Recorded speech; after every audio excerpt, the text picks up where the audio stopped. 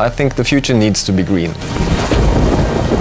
Powering the green future is key to me. It was very important to me that I work for a company that is on the right side. Statkraft cares about the same topics that I care about. And this really moves me. And Statkraft has uh, the competence, we have the assets, and we have the knowledge and the drive that makes us uh, well fit for this green future. This is a very international company.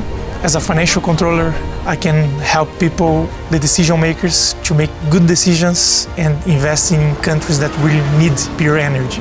I work in the production unit uh, for wind power plants and I work with uh, continuous monitoring and measurement of uh, the turbine performance through these algorithms. I travel to remote areas of Norway where our hydropower plants are situated and I get to see this amazing work of uh, our hydropower plants and how we produce electricity. My responsibility is to manage the uh, water resources that we have, to try to use them in the best possible way for Statkraft and for the society. I discovered this global company with offices in so many countries in the world that's focused on not only hydropower, but wind, solar, market operations. For me, choosing Statkraft was a value-based decision. The oil sector was attractive at that time. It felt better to work with uh, renewable energy. And I think this is such an exciting company to be working in.